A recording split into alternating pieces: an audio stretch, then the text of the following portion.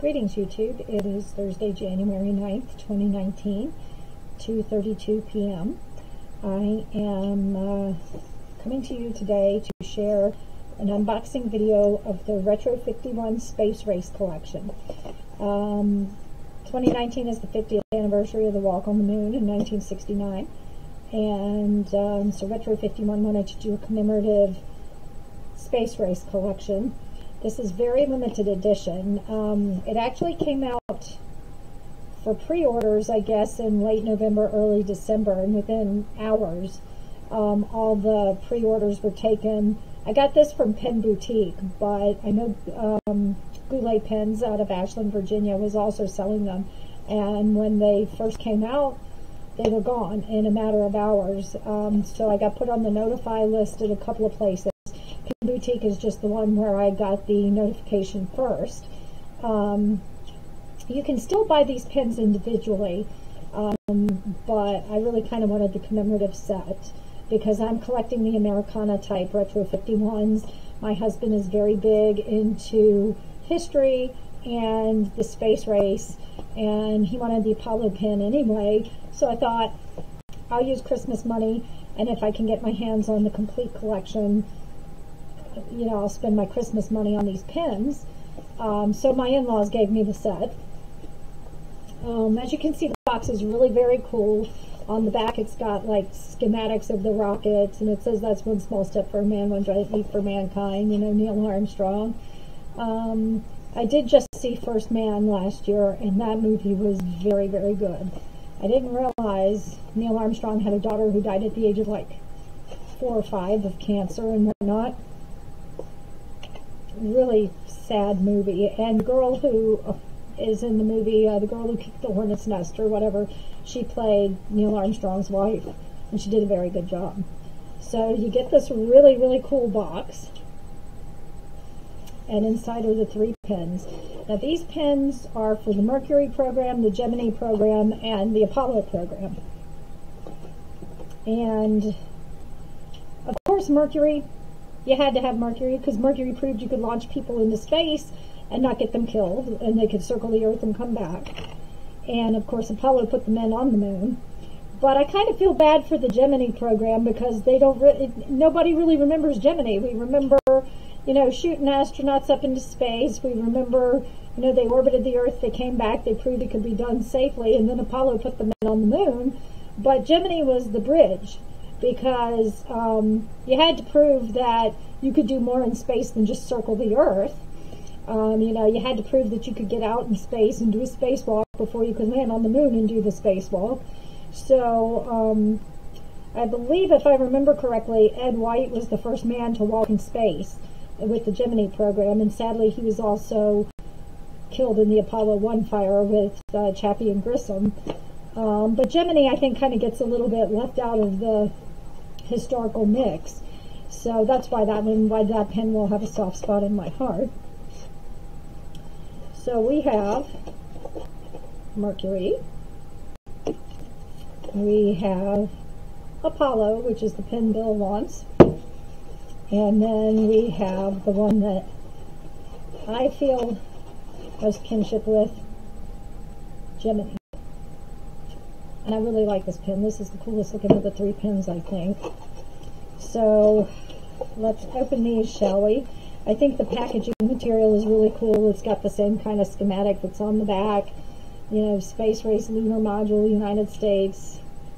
You know, I don't know. I can't even imagine, even during the years of the space shuttle, going into space, I don't even like turbulence on an airplane. Can you imagine what it would feel like to strap your ass to a Saturn V rocket? I don't think so. I really, really don't think so. So let's start with Mercury since that was the beginning of the space program. But yeah, I mean, I don't deal good when a plane shakes, you know, at 30,000 feet. I can't imagine launching myself 250,000 or however. Is space technically 250,000 miles above the Earth? I can't remember what the actual measurement is, but it's something like that. Turbulence in a on a rocket is a completely different thing altogether. If you don't have turbulence, you're probably not doing it right. Now this one is very, very cool. I love the finish on this one. And Retro 51 always makes a beautiful pen anyway, but they really, in my opinion, knocked it out of the park for the 50th anniversary of the moon landing. So here's the Mercury, or more correctly, I suppose it should be held like that to actually look like a rocket. Um, trying to see, this was a limited edition. Trying to see if I I have uh, 1147 out of 1958. Now 1958 was, you know, when NASA started in this form and they started doing the um, doing the rocket research. Um, a lot of the guys who were brought over here from Operation Paperclip in World War II, the Nazi rocket scientists who were brought over to help us build the bomb, to stop Hitler. They transitioned into aerospace technology. Wernher von Braun was the first head of NASA. Of course, if you believe the conspiracy theories, he was either an alien or talked to aliens because how could we go from this to the moon in less than 10 years and all that stuff. I'm not saying I do, but I love to watch Ancient Aliens for reasons, you know, to laugh at it. But anyway, so this is the Mercury rocket, which proved that we could get into space and orbit the Earth. So I'm going to put these back in the case because I want my husband to see the packaging when he gets home. Retro 51 always does such an amazing job with their packaging, and this one is, so it says on here, the Mercury mission was to orbit oh, I can't read this. Print's too small and it's too dark in here. Uh, to orbit manned spacecraft around Earth, to investigate the ability to function in space, to recover both man and spacecraft safely. So this was to prove we could actually get there. We didn't even know if we could get there when we did that. So then next was Gemini. Oh, that's Apollo. That's going to be the moon landing.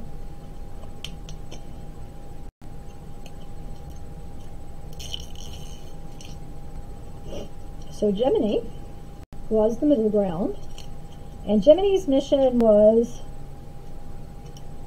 to test an astronaut's ability to fly long duration missions up to two weeks in space, to understand how spacecraft could rendezvous dock in orbit around the Earth and the Moon, because, yeah, they were going to have to do that, and then to perfect re-entry and landing methods, and to further understand the efforts of longer space flights, uh, no, to further understand the effects of long-term space flights on humans. So without Gemini, you could have been, couldn't have had Apollo, and that's why I think it's kind of sad that Gemini gets lost in the mix because, yeah, we knew we could get there, but what was it going to do? You know, I mean, we still in the 90s had astronauts testing long-term effects of space exposure on your health because we send astronauts up to the ISS and they live there three, six months at a time. You know, so you had to know, okay, well, we can get there, but what can we do when we get there, and are we going to be okay when we get there? So that was the point of Gemini, and that was kind of that's kind of why I like the Gemini program the best. And I have to admit, this pen is the coolest looking of the three, too. So it doesn't hurt that the Gemini pen is pretty cool.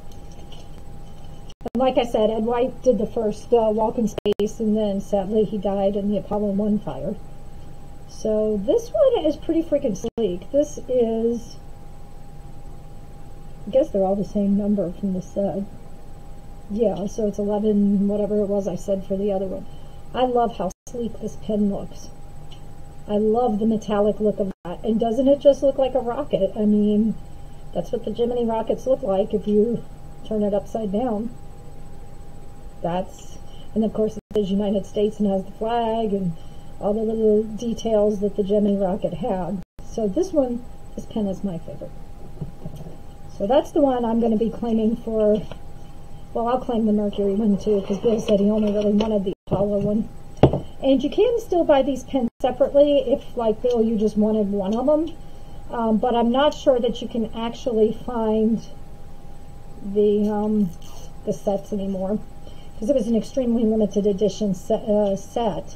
And like I said, it was to commemorate the start of the space race, which technically started in 1958, but in 19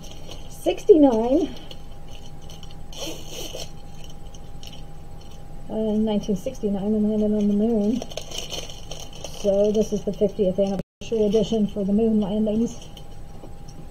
All right, so then of course by Apollo, uh, Project Apollo's goal went beyond landing Americans on the moon and returning them safely to Earth. They included establishing the technology to meet other national interests in space, achieving prominence in space for the United States, and carrying on a program of scientific exploration of the moon and developing the capability to work. Does that say? Developing the ability to work in.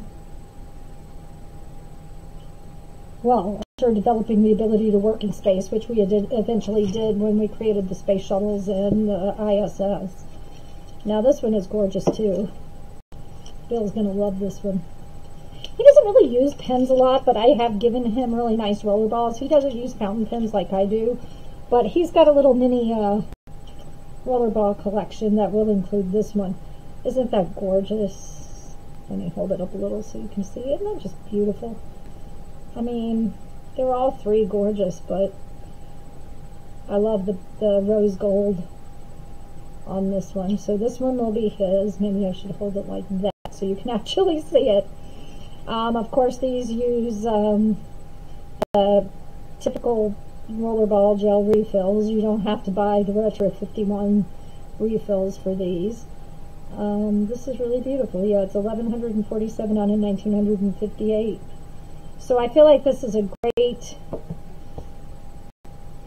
I feel like this is a great addition to my collection. Um, if you've watched my other Retro 51 um, collection video, which was a while ago now. Um, I really like to collect the Americana ones. And of course, when I found out the space race was coming out, um, that was it. I knew I had to have it. I'm probably very much a shiny magpie type um, with all of these, but um, I knew that I wanted this series. And like I said, I tried to get it. I tried to get even on pre-order, and I couldn't because within you know, hours of them even announcing that these were going to be a thing, all the pre-orders taken for this the box set. And I was just like, well, rats, okay, notify me. But I went on notify list in several different places, which probably wasn't exactly fair now that I think about it. But I wanted to ensure that I would get on the list. So um, after Christmas, we got back, and I had seen on, I believe it was the Goulet Pens one, that they were in the process of stocking, getting limited supplies of these pens, of, the boxed set. But I was like, okay, well, we'll see. Um, but then I saw on Instagram Pen Boutique, I follow Pen Boutique, and that they had a, um, they had gotten their restock in. Um, and of course it was saying hurry because these are limited edition. So um, I went, and the first time I went, they were out of stock. But then I went back the next day, and I was able to get it. Um, you know, it's probably it's probably Retro 51's way of cashing in on FOMO and whatnot, um, which may or may not be. I mean, maybe it's marketing ploy to sell more pens, but I really feel like Retro 51 knows what their customers want. Like, for instance, I gave Bill a Retro 51 for Christmas. It was the Engine 31 which was their first responder pin.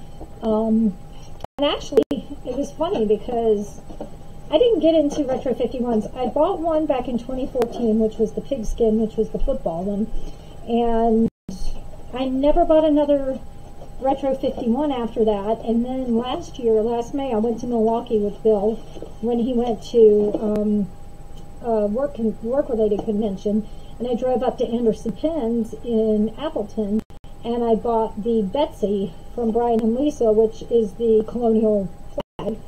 And so after that, I came home and I was looking on the Fahrney's uh, website. They're out of DC and they're the ones that usually have the Americana ones for obvious reasons. And then I sort of started collecting them. So I didn't even collect Retro 50s until the middle of last year. And I'm now counting the two of these. I'm going to add to my collection, have nine. Um, Bill has one that is a tribute to the P-51 Mustang uh, from World War II. Um, and then I was, I don't know, sometimes um, Retro 51 will take uh, user suggestions for pins that, that people would like to see made. And I guess it was back last summer, I had um, emailed Retro 51 and said, hey, is there any chance you could do a first responder series? Because I was thinking like EMTs, police, and firefighters. So I thought that would be really cool, and I thought that Bill would really enjoy having a firefighter pin. And they texted or emailed me back rather and said, well, we can't tell you what we've got in the works, but suffice it to say you'll enjoy what, what we're coming up with. And then last fall they came out with the Engine 31, which is a tribute to firefighters. So I gave that to Bill for Christmas. He's got the P-51 Mustang. He's going to have the Apollo. Um, so he's getting a small collection of roller balls. Um, and like I said, I never meant to start collecting retro 51s, but they write beautifully and they're a conversation piece, you know. Um, they have all kinds of pens. They have some that are related to the Smithsonian. I've got the um, Amelia Earhart uh, Lockheed Vega one that's the tribute to Amelia Earhart um, that looks like a plane, the one that she flew solo across the Atlantic in. Um, and, you know, they have some that are just fun. They have one that makes me think of McKenna, who is one of my cross-stitch uh, floss tube friends she loves all things macabre and medical related and skeletons and stuff. And they have one called Dr. Gray that looks like it's got a picture of um, a skeleton out of the Gray's Anatomy textbook on it and it glows in the dark. They have some solid colored pens. Um, they have one that they sold that had dogs on it to raise money for the Humane Society, one that had cats on it to raise money for the Humane Society. So there's a lot of fun, different Retro 51s that are out there. Um, so really, if you just, if you like using rollerball pens, um, and you like kitschy stuff that gets you noticed, because not everyone's going to have one of these kind of pens, um, and I would say Retro 51s definitely are for you. There's something for everybody, and they're constantly coming out with new pens. Um, they had, I think it was, I can't remember what the name of the collection was, but it was based on absinthe, bourbon, and some other cocktail spirit type thing, and they've had ones come out that look like cigars for cigar aficionados. I mean, you name it, they're out there. So I hope you enjoyed this unboxing, and I hope that if you feel so inclined to do so, you'll be able to get your own um, Space Race pen. Like I said, I don't think you can necessarily get the box set anymore, but you can buy the pins individually, and I think there's plenty of the individual pins out there. Um, so until next time, I wish you happy writing and much creativity, and I will talk to you soon.